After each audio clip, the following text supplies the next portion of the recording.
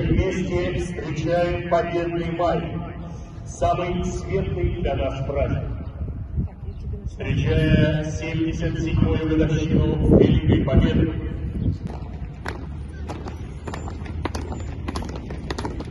рядом 63 местных армейских отделения. А школа основана в 90-м году и за эти годы сделала 31 веков подполковники, офицеров, сержанта и солдат запаса. Проявленное мужество и отвагу при выполнении боевых задач по связи.